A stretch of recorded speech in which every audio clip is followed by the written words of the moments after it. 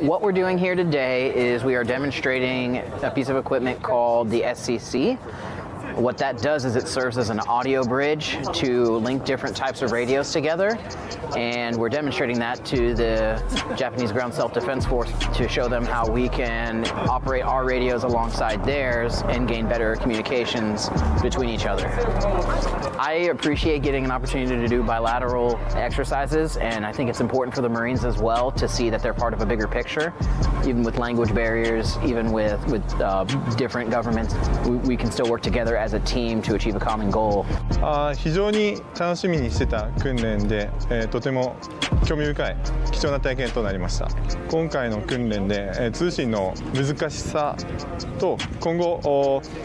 日米でやっていかなければいけない将来的な部分をところの礎にしたいなという部分を感じました